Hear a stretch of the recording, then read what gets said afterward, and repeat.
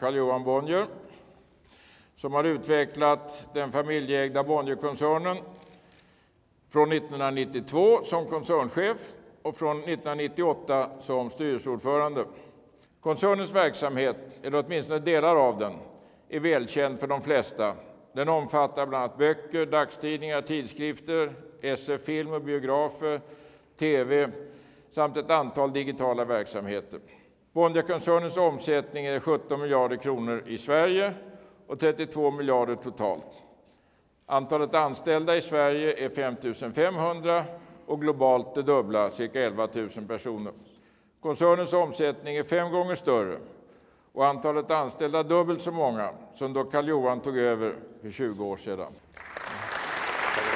Tack så mycket. Jag är glad som har varit med och få bygga vidare på det här familjeföretaget.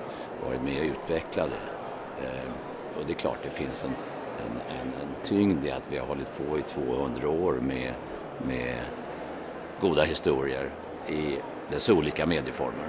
Hur ser du på unga entreprenörer idag? Det finns idag väldigt sund kultur med många entreprenörer som kanske delvis skapades under IT-hypen i slutet på 90-talet.